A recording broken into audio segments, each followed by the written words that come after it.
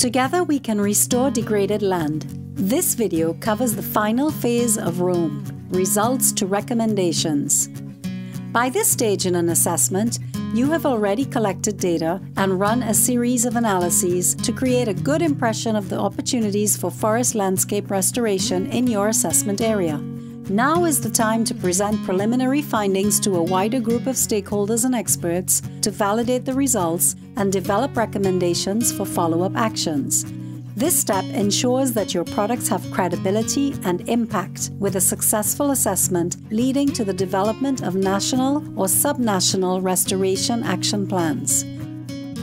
The Validation Workshop Phase 3 mainly involves hosting a validation workshop with senior level government staff, leading national experts, and other important stakeholders like leaders from indigenous communities, farmers' unions, or financial institutions.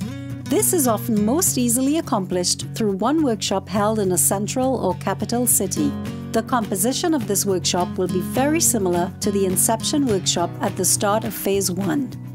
At the workshop, you will want to present your findings in a clear, compelling way, avoiding details but rather focusing on major findings.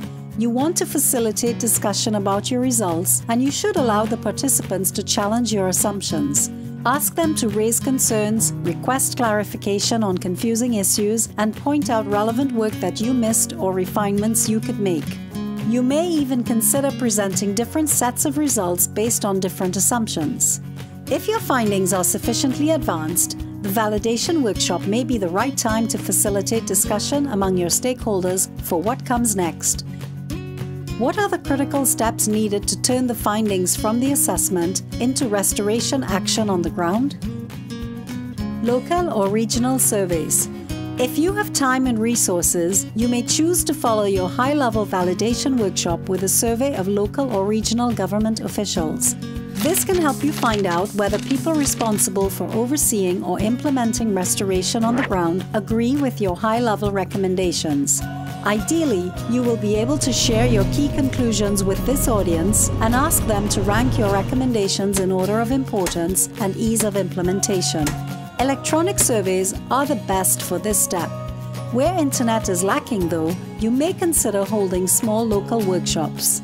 When you have completed your validation workshop and local surveys, you should have a valid and compelling set of products that can guide restoration activities in your assessment area for years to come. So you've finished your engagement of stakeholders, your analytical work, and your validation phase. You're all done, right? Wrong. ROAM doesn't stop with the development of strategic recommendations. The results of your work need to be disseminated not just to those who participated in the process, but also to key decision makers across the country. Ideally, your validation workshop will put restoration on the national agenda, but you now need to work closely with restoration champions who can help move forward the policy, legal, and institutional changes recommended by the assessment. These champions will be the ones to feed the assessment results into other national level initiatives and processes. Ideally, now you will move forward with your strategic partners to set in motion the next step real restoration on the ground. Depending on your assessment area, a good next step could be a more local assessment to support landscape level designs of restoration pilot projects and sites. By now, you've taken the first step towards bringing health and vitality back to degraded lands. Restoration plans can contribute to national goals and important international commitments. The results of your analysis may even help define a commitment to the Bonn Challenge, the largest restoration initiative the world has ever seen. If you are considering conducting an assessment or have already completed one, we want to hear from you. Consider joining the Learning Network of the Global Partnership on Forest Landscape Restoration to share your experiences, or consider contacting the Global Partnership through IUCN, its secretariat.